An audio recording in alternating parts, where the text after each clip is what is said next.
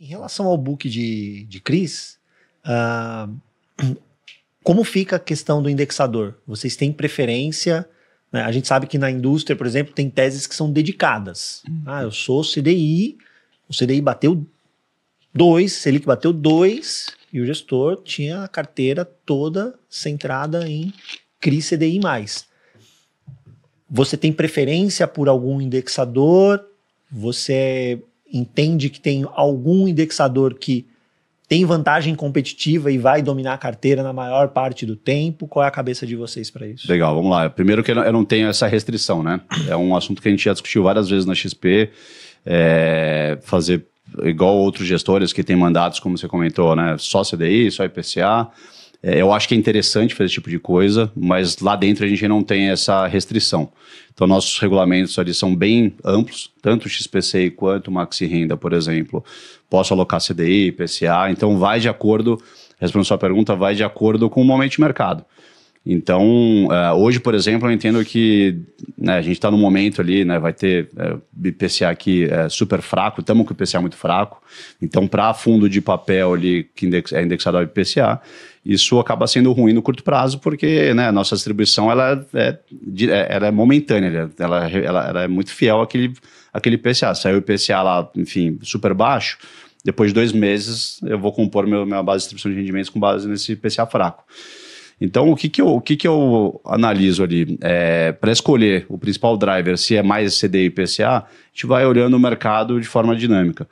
É, nesse momento, eu entendo que Deus e IPCA, somente com essa visão de ganho de capital, está é, tá muito interessante. Por quê? Porque a B está extremamente uh, estressada, então a gente está com o nível de B ali de 6,70, 6,50, enfim, fica sempre nesse range, né? Sempre não está nesse range já há bastante tempo.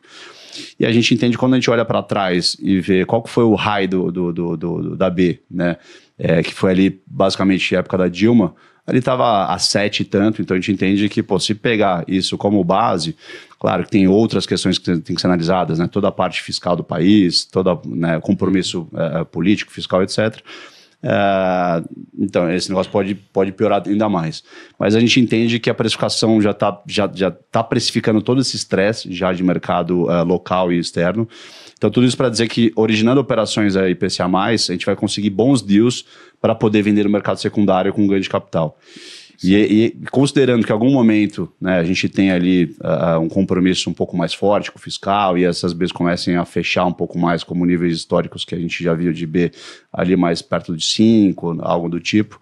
É, pô, se acontecer isso, a gente vai conseguir fazer um baita de um ganho de capital. Claro que esse não é o principal driver para tomada de decisão, uhum. mas a gente entende que é, moral da história aqui, tem muito mais para fechar do que para abrir, AB. Esse é o ponto. Perfeito. Então a locação ela vai estar tá num momento ótimo ali da, da, da, da, curva. Isso, isso que você trouxe é uma visão legal, porque se você tivesse vendo, priorizando, por exemplo, vai a distribuição de dividendo no curto prazo, no curtíssimo prazo, que normalmente é que a pessoa física busca, ah, eu quero o dividendo no curto Nossa, prazo agora. É. Você ia fazer o quê? Você ia pegar a carteira e colocar mais de CDI. Exato. Mas o que vocês estão vendo é o que, que é o melhor a médio e longo prazo, que vai me trazer mais retorno a médio e longo prazo. Porque é isso, no final das contas, você quer um cliente que você acredita que o seu cliente vai estar com você ali durante uma jornada, né? Então você Exato. quer maximizar esse retorno que o cara vai ter a médio e longo prazo, não no mês que vem. Então, às vezes, eu costumo dizer, disse isso inclusive hoje na live. Eu falei: olha, cuidado para não estar com foco muito grande no curtíssimo prazo, porque você deixa grandes oportunidades para ter bons retornos a médio e longo prazo passar.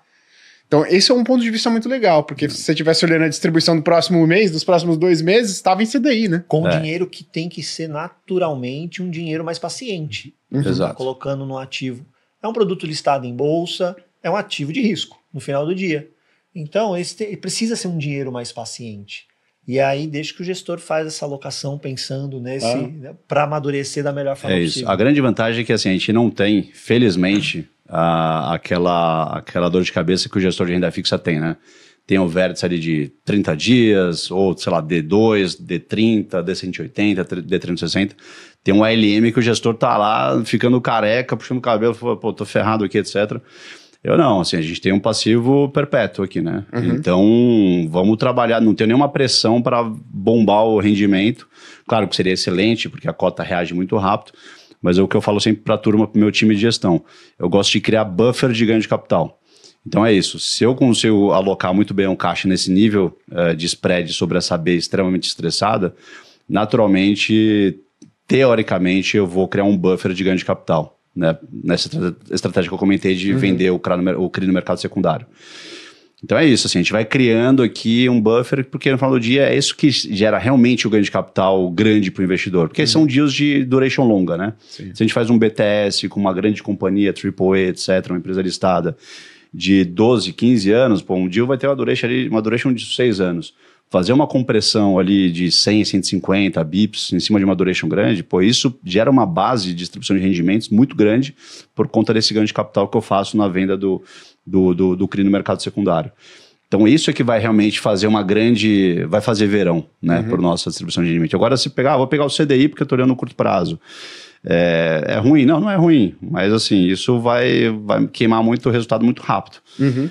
Então, um pouco do que a gente analisa. A gente sempre está muito grudado ali com o time macro da XP Asset, né, nos calls, no, nos calls é, matinais, no morning call, entendendo ali como é que está a inflação, como é que está o crescimento de PIB, etc., para entender o cenário macro mesmo e tentar operar melhor é uma gestão ativa ali no, no, no Maxi Renda. Legal. Uma coisa que para vocês entenderem aqui que o André comentou, ele falou, pô, a gente tem um passivo perpétuo, coisa que, uma vantagem, né, que pro, principalmente para quem está tomando a decisão ali, fazendo a gestão, que alguns gestores não têm, né? Fundo de normalmente de prateleira ali de plataforma, que é o seguinte: vamos pensar que um gestor de crédito privado que está lá dentro do, da aba fundos de investimento, você tem que ir lá abrir e aplicar. Pô, tem lá 500 milhões de reais, aí fala, pô, vou comprar aqui o 500 milhões de uma debênture ou fazer uma diversificação ali em vários ativos IPCA mais 8% de longo prazo.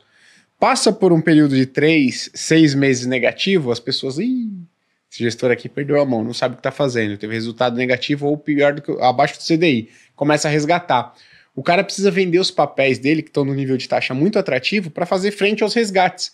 E aí nem deu tempo dele maturar a, a, a, tese dele, ele teve que resgatar e se desfazer dos papéis a uma taxa ainda mais atrativa. Então, o fato de você ter um. Ah, no fundo imobiliário, não, né? Fez a emissão, o dinheiro entrou.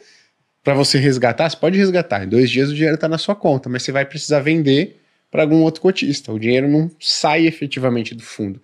Isso dá mais tranquilidade né, para a gestão fazer um trabalho, no final das contas, melhor, né, que é visando boa rentabilidade a médio e longo prazo. Então, essa é uma preocupação que o gestor de um fundo listado, né, no fundo imobiliário, como é o caso do MXRF, não tem. Tá?